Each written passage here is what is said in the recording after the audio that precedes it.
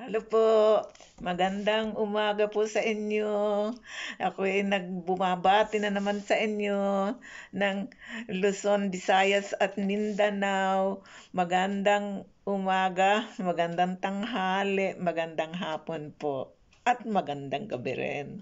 Kaya ganun din ang mga kababayan ko. Ganun din ang pagbati ko yung mga kababayan ko nasa ibang bansa. Saan man sila sa iba't ibang bansa na lugar na pinuntahan nila. Eto po, magpapakita ako ngayon na ibang ano naman, scene.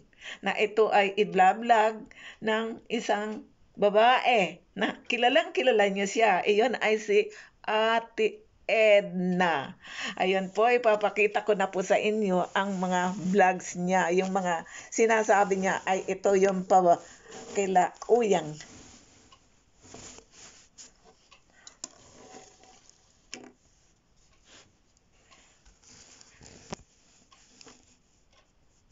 Inom ang yan. Ang uh, book, nandun na sila kuya pag sa una. Ayan po. Ito na po yung bahay ni Tatay Lucio. Ang ganda na. Bilis lang, oh.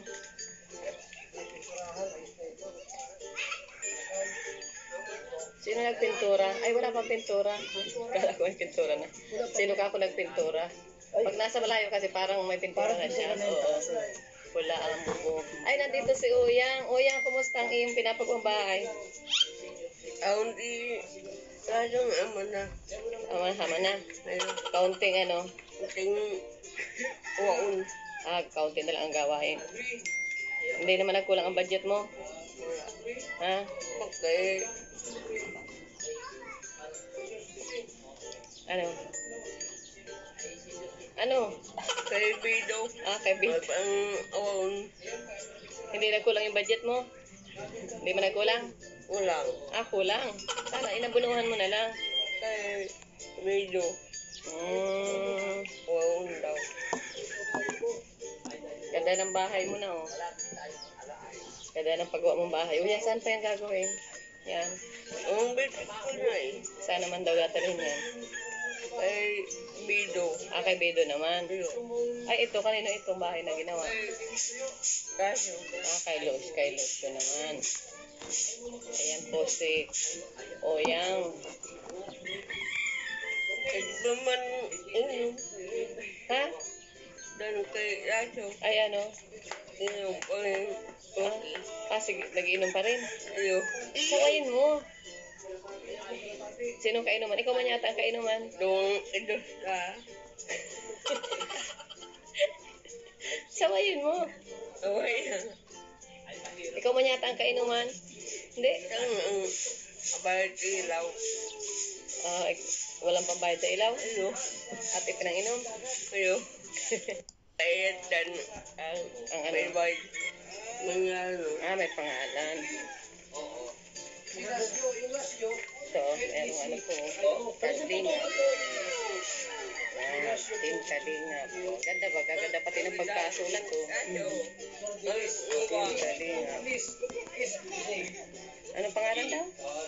Gi, Gilasyo parang Gilasyo. Kung babasahin, kung babasahin para Gilasyo. Gilasyo. Lord Giles.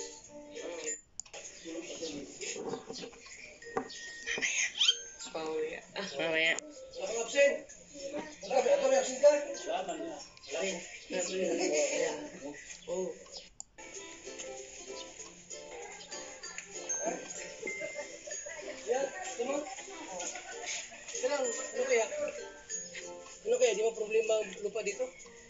Magpalisin kayo. Maganda mga bahay nila. oh. Kaya nga, pati nga dito magandang bahay.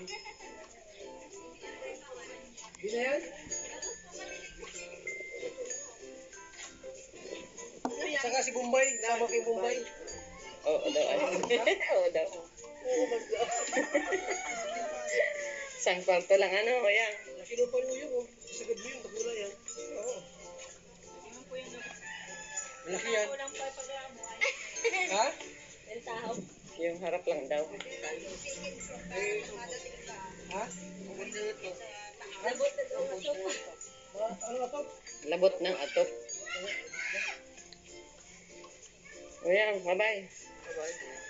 Bye-bye. Laki ng lupa, laki ng lupa mo yan.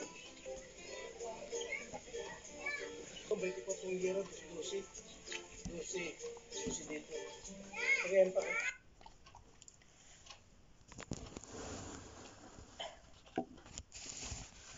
Diyan pa natin nakita ng mga pagblablag ni Ate Edna na pinuntahan niya yung si Oyang. At may pinapagawa ka silang bahay doon. Kaya hindi magtatagal, magre-ribbon cutting na naman sila. Kaya ayun po, nakikita ninyo, iba-ibang pinapakita ko siguro. Nasisiyang kayo pag iba-ibang ibinibigay ko po sa inyo. Kaya po, ah, pakiusap ko lang po sa inyo na laging sinasabi na kalingapin natin sila. Ayan, nakita nyo, exerting effort sa mga tao saan man sila. Nari, naki-imagine, magigising sila ng umaga para puntahan nila yung mga taong yun at kakalingapin. Tingnan yung mga mag-asawang yan, si Kuya Balat, saka si Ate Edna, at saka yung mga team nila. Ganon talaga ang mga ginagawa nila. Talagang inilagay nila sa mga puso nila ang pagkalingap nila sa mga nangangailangan.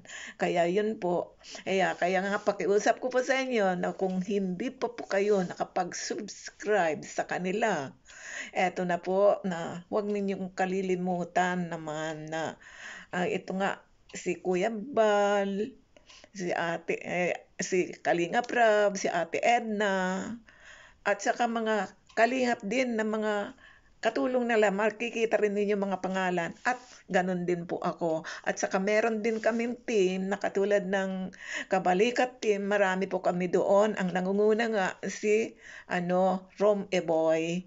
Yan, masipag po siya. Kaya isubscribe din, din ninyo siya. Kaya yun lang ang masasabi ko na huwag ho kayong mag-escape ng ads. Yun ang huli kong masasabi at kalingapin nyo kami. Eto na lang po at magandang gabi po sa inyong lahat. Bye-bye.